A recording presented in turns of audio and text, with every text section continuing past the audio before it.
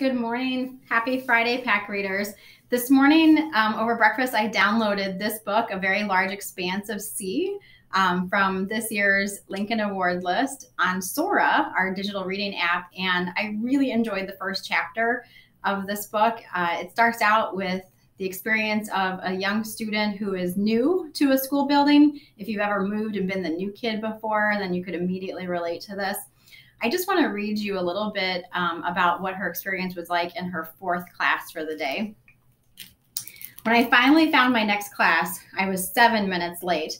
I pushed open the door, the hinges slightly squeaking. The teacher stopped talking, his mouth still caught around a sound, his face frozen between expressions. He blinked at me. I averted my eyes, even as I felt the room contract around me. I slid into the nearest empty seat and said nothing. I took a notebook out of my bag. So, he smiled, you understand this is an honors English class? I hesitated. I wasn't sure what he was expecting me to say to such an obvious statement. Finally, I said, Yes. He nodded, then laughed and said, Sweetheart, I think you might be in the wrong class. When I read that, I was like, What? I wanted to tell him not to call me sweetheart. I wanted to tell him not to talk to me as a general rule.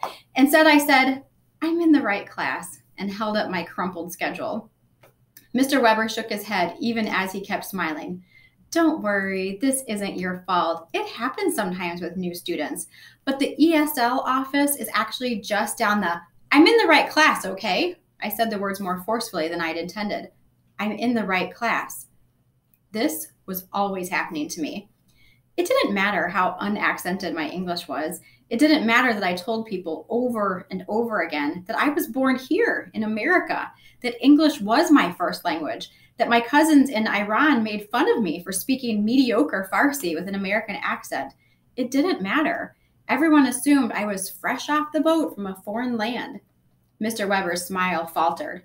Oh, he said. Okay. The kids around me started laughing, and I felt my face getting hot.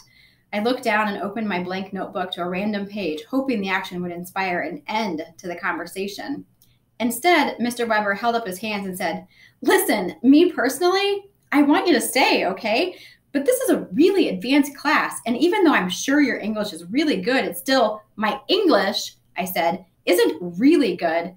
My English is blank, perfect. I spent the rest of the hour in the principal's office. All right, I took out the curse words there, but she says them and they made me laugh this morning. I feel so bad for her. Being a new student would be so hard.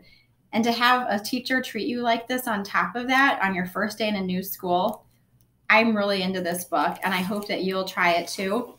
This is just one of the Lincoln Award books that we're recommending to students this year. Have a great day, Pack Readers.